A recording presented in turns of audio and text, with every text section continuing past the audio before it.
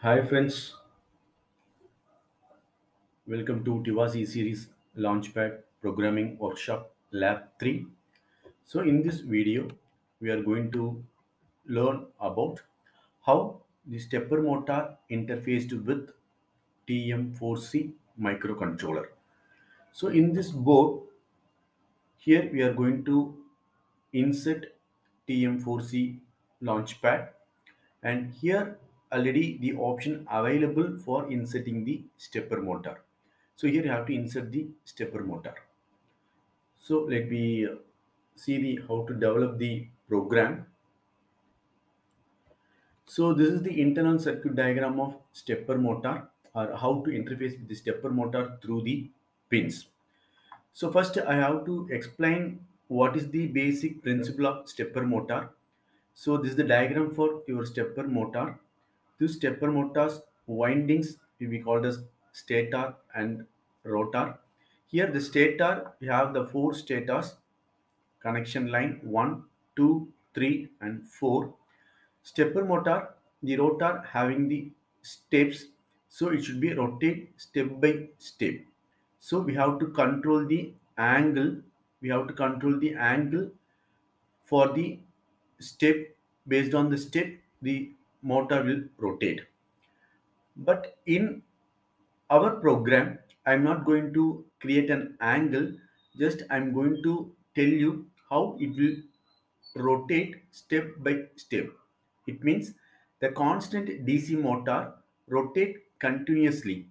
Instead of continuous rotation this stepper motor has rotate with step 1 to 2 then 2 to 3 then after some delay 3 to 4 after some delay 4 to 1 this is forward rotation. Similarly you have passed the data for reverse rotation also. So this one, two, three, four. these pins i'm going to connect it with the microcontroller pins.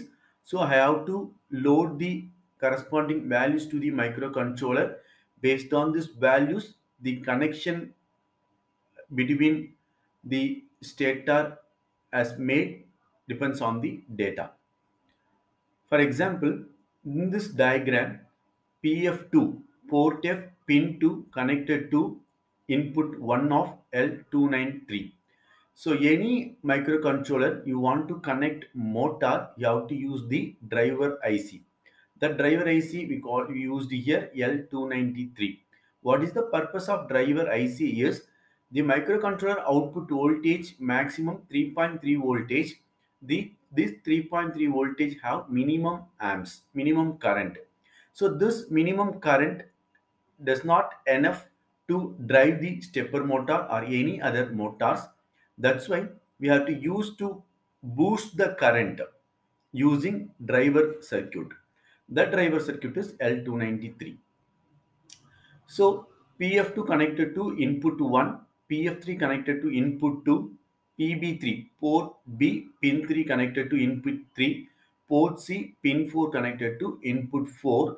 So that the internal connection between input to line L1, L2, L3, L4 this L1, L2, L3, L4 connected to this uh, pins of the stepper motor. So how to rotate the stepper motor? Just you have to turn on this pin. This pin is nothing but PF2. This pin is nothing but PF3. So PF2 1, PF3 1. The connection between the voltage difference between 1 and 2, the current passed from 1 and 2. So the motor rotate this step 1 and 2. Similarly, the next to make this 1 0 this 2 1 3 1 so the rotation between 2 and 3 then make it 2 0 3 1 4 1 the rotation between 3 and 4 then make 3 0 and connection between 4 and 1 you have to make this 4 is 1 1 is 1 similarly you have to move the corresponding hexadecimal data. So before that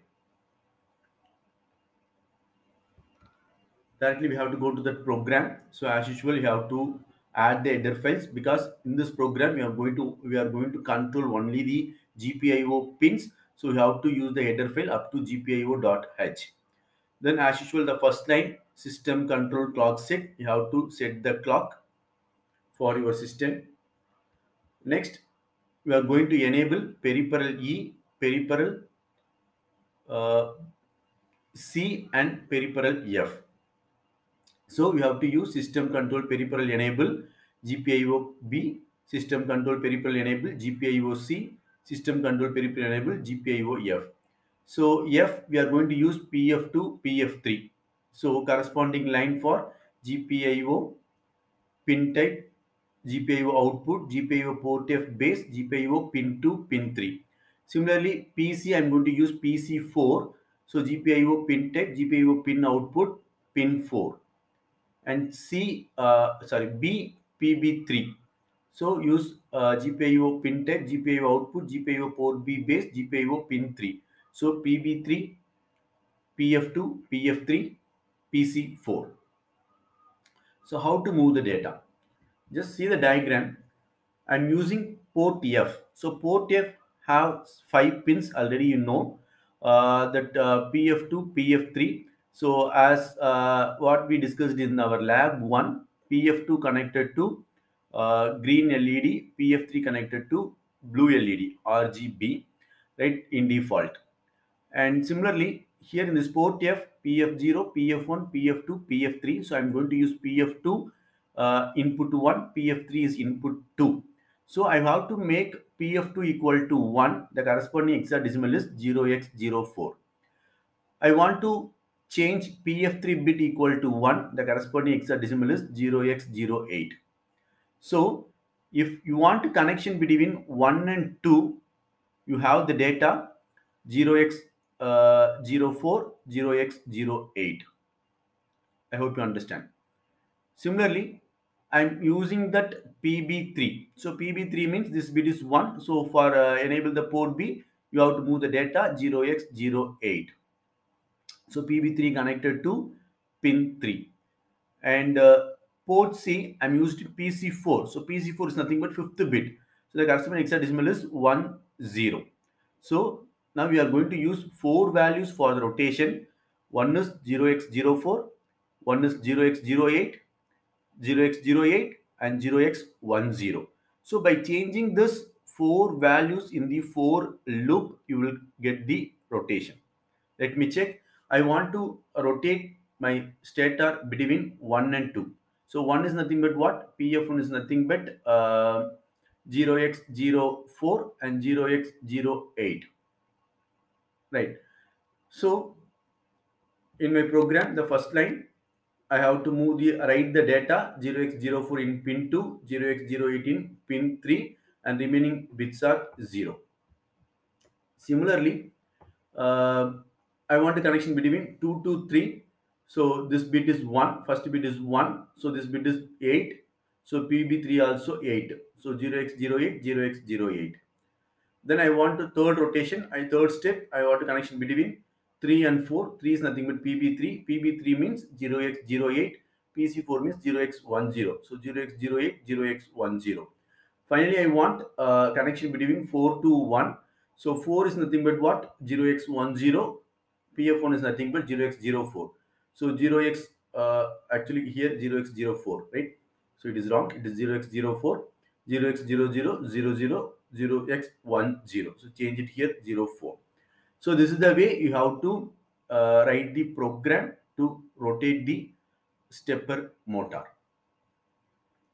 so next i'm going to copy this program i will explain you how uh, it will be uh, running in uh, code composer studio. Just i copy the program right? And i'm going to uh, save my program and i'm going to build my program. So after that building uh, there is no errors. Then i'm going to uh, check uh, uh, debug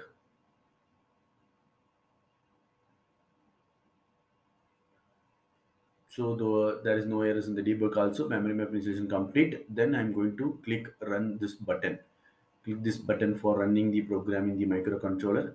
I'm just I'm going to click this program. So now your program is installed in the microcontroller. We are going to check in that uh, board.